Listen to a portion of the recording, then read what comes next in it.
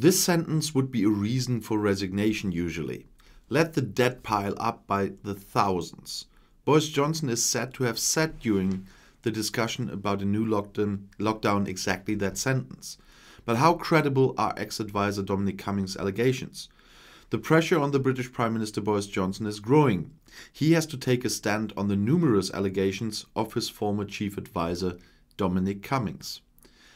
After the renovation of his apartment in Downing Street, financed by private donations, which was initially the focus, a quote that was perceived as cynical made the rounds on Monday. If that statement had really been so, the Prime Minister would have to resign, wrote TV presenter Piers Morgan and posted um, on the front page of the Daily Mail, on which the alleged quote from Johnson was the headline.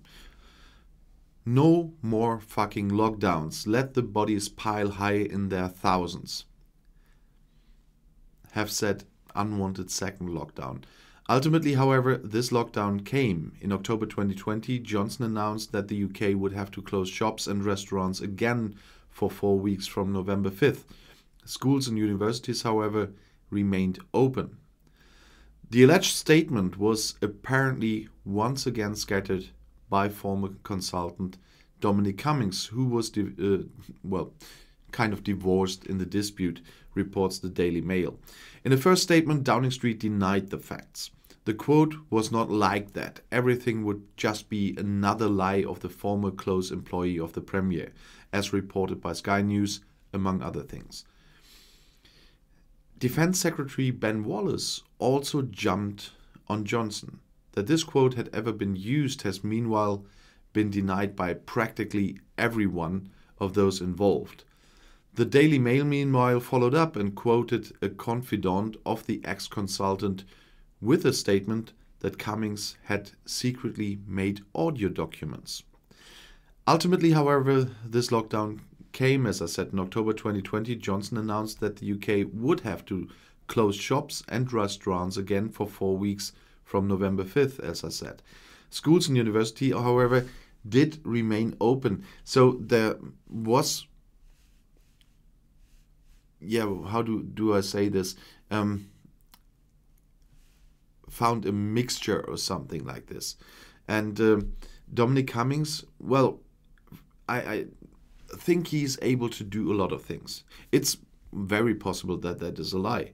But on the other hand, I totally trust him to make, without any permission from anyone, audio um, recordings of um, speeches of talks of, with with other people in, in, in private. So that's not far off what I can imagine that happened. And uh, the Daily Mail, meanwhile, as I said, followed up that the consultant um, already said that he made secretly audio documents, and that would be a real blow for Johnson. And Cummings had already attacked Johnson violently in a post on his website on Friday. Among other things, he reported extensively on the British Prime Minister's plan to raise private donors for the renovation of his apartment on Downing Street. At the time, he refused to help Johnson with these plans, telling him that they were unethical, foolish, and possibly illegal road Cummings, although Cummings being against unethical, I don't know. He also accused Johnson of having blocked an internal investigation into a leak in connection with corona measures because the person responsible was a close friend of his fiancée, Carrie Symonds.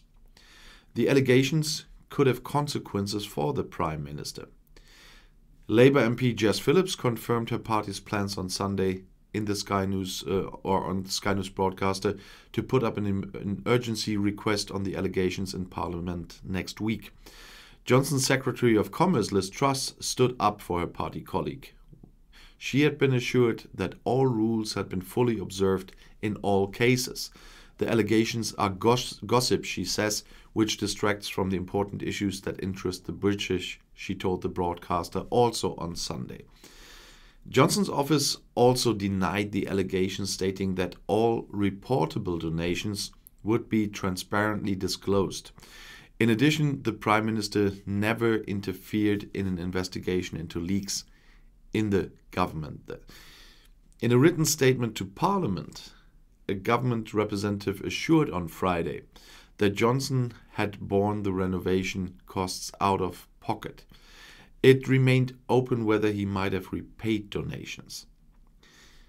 The background to this is confidential text messages from Johnson, which, among other things, concern a request from entrepreneur James Dyson for tax breaks if he takes part in the production of ventilators in Great Britain. I made a video on that one.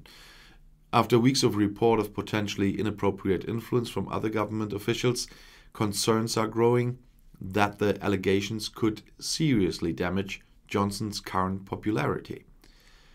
Cummings' allegations dominated the front pages of newspapers over the weekend before the latest leak. Some conservatives also joined the criticism.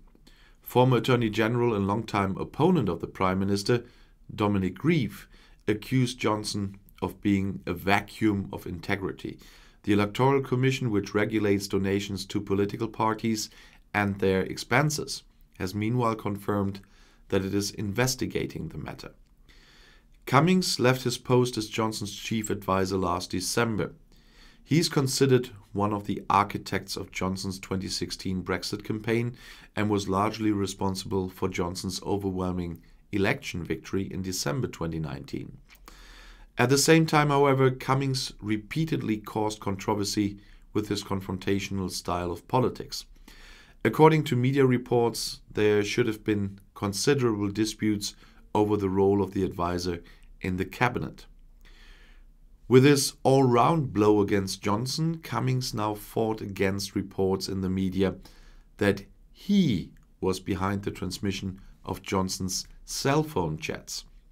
It is sad to see how deeply the Prime Minister and his office fall below the standards of competence and integrity in the country, uh, or the integrity the country diverse deserves, wrote Cummings on his blog. I, I, I was really uh, babbling there for a second because honestly, Cummings talking about standards of competence and integrity. Who can stay serious and get a proper sentence out? sorry, but that sentence really is a joke coming from Cummings. I'm not a fan of Johnson, and you all know this, but oh boy. But according to a report in the Sunday Times, Johnson may have personally informed the newspaper editors about Cummings as a leak. Apparently, he disregarded his advisors who had warned him against this suicidal step. And this is what we call a mud battle in German. Um, we usually see in front of election campaigns more often than, than in the meantime. But I'm quite sure that this will feed the tabloids for quite some time. And if you want to stay informed, please subscribe to my channel. Auf Wiedersehen.